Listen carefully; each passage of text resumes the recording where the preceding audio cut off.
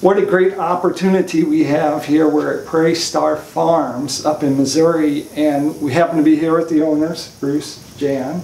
And so both of them are, have very strong suits in what they really their knowledge base. And so Bruce, tell us uh, what do you bring to the table?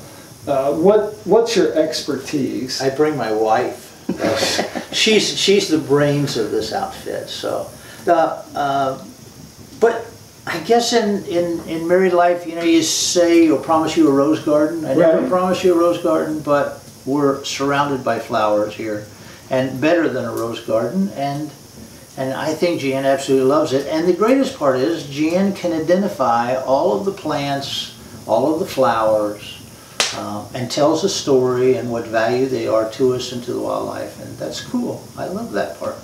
So he built you up, way up high, put you on a pedestal, which is Ah, cool. yes. Tell them how unique is this in, in prairie lands in themselves? We're having an issue with keeping them, right? Uh, prairie is probably the rarest of our ecosystems. It's depleted mainly because it is the red basket of the United States. It's Uh-huh. what was plowed up and used for our agribusiness, and um, what is left, it was just those little parcels that really could not be plowed. So there are very, very few acres left, and um, our attempt here is never to create a prairie because that takes, you know, an incredible amount of time. Uh-huh. But we are trying to push our um, our ecosystem back to what we might have had here pre-settlement in plants. Right? Um, it, it is an opportunity for us to see what the earth will do on its own, giving it a little bit of rest time from pasturing it or, or uh, growing agriculture in it. Um, it is it is an opportunity for people to see what it was like when their grandparents were here before we started manipulating the ground for greater yield. So um, when people come here, it's always amazing to see how how much they're drawn into the environment. They get out of the vehicles for a variety of things. I mean, they come for social events and for school events, and before you know it, though, they're just kind of drawn out into that landscape. And um, so it's uh, it's a learning experience for them to see um, our our plant life that was always here and find some value in it.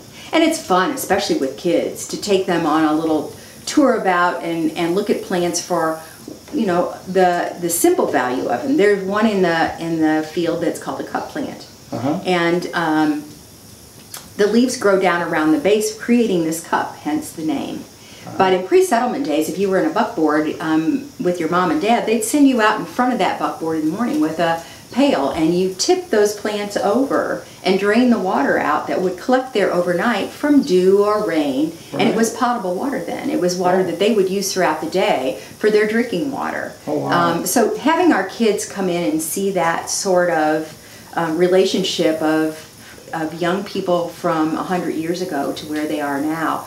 I hope that it not only gives them a, a glimpse into the past, but makes them appreciative of turning on the faucet in their kitchen Right. and having water at their whim and will, and not to learn not to be wasteful with it, and to give them a little bit more ethic about how they live on this earth. So. Yeah, and and some of this uh, comes about from controlled burning, right? Um, the Native Americans that lived on this planet uh, didn't have bulldozers, they didn't have chemicals, they didn't brush hogs and tractors, they didn't have any of that stuff. The only tool they had to manage the landscape was fire. And they used fire um, intensely. If they wanted to travel across the landscape, wading through that tall grass was a mess. So they just burn it, and it makes travel easy.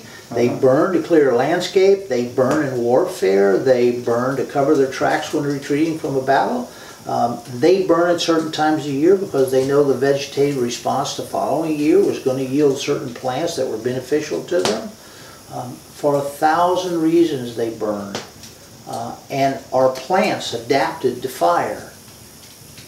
And we have robust vegetation and a robust landscape because of it. And so we duplicate the same thing here. We don't brush hog and we don't use chemical sprays except to control the exotic vegetation, those things that aren't native to Missouri.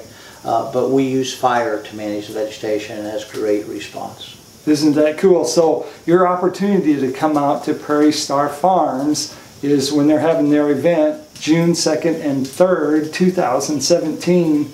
So a lot of people will be coming out to look at the structures and the reenactors that are coming out, but some people I think will be coming out just to check out the you know the environment here. And so uh, this is our invitation for you to come. You can quiz Jan about all the flowers and everything.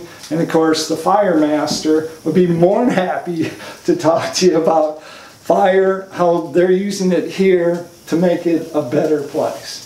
Cool. Thank you so much. Thank you. Yep.